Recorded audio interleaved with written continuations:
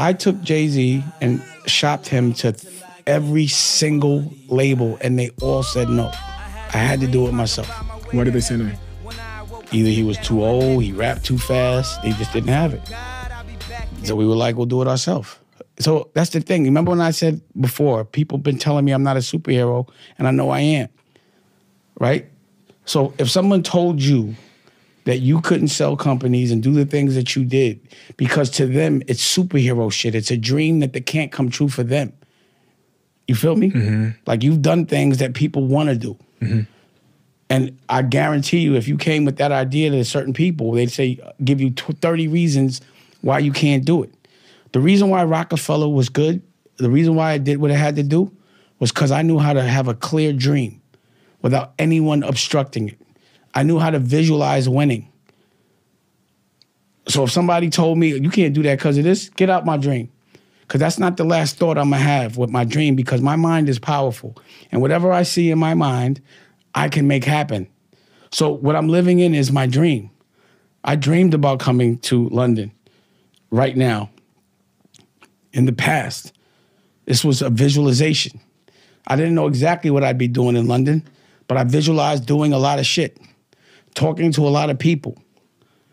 You understand what I'm mm-hmm. saying? So if you can't visualize winning, then you will not win.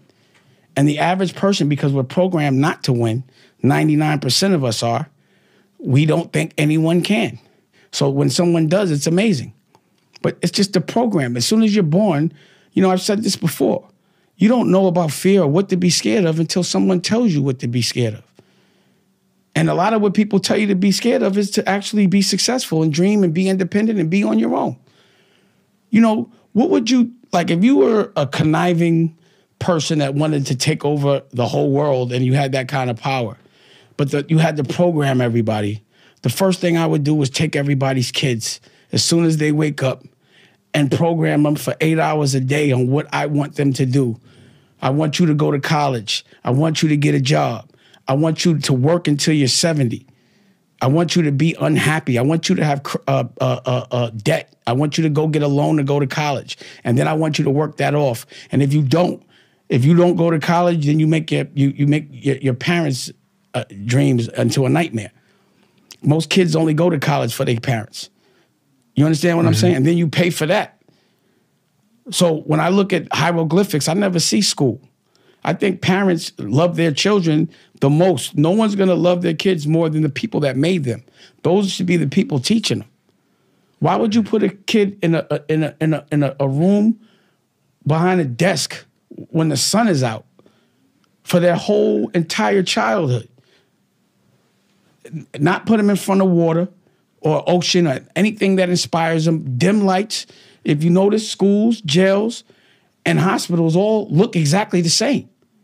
Why wouldn't it be in something inspiring? Why? Because it's a program to keep us controlled. You have to, when you have to have order of masses, you have to have them all doing the same thing so you can know what they're doing, you can monetize what they're doing, you know how they're doing it. So at a very early age, I was like, yo, all this shit y'all teaching me, first of all, none of it makes me think I'm number one. It would make me, if I believed that y'all were teaching me, especially back then, that I'm number two, that I could never be a boss, that there could never be a black president. They never teach us how to pass laws and, and lobby or be politicians, and that's the only way to make change. So it has to be strategic. So when a cycle continues over and over again without change, it's either insanity or it's intentional. Somebody's losing, which is us, but somebody's winning, which is them.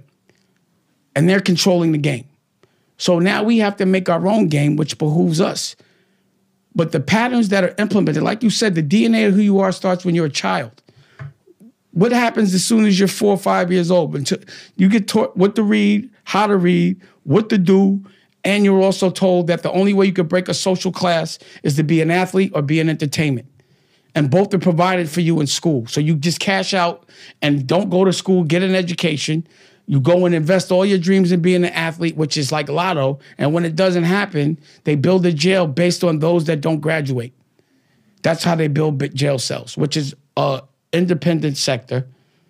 With me, you know, meaning that you know it's out. You know, it's not the government doesn't own it, and the intention is to keep those beds in those jails filled because you have a government contract.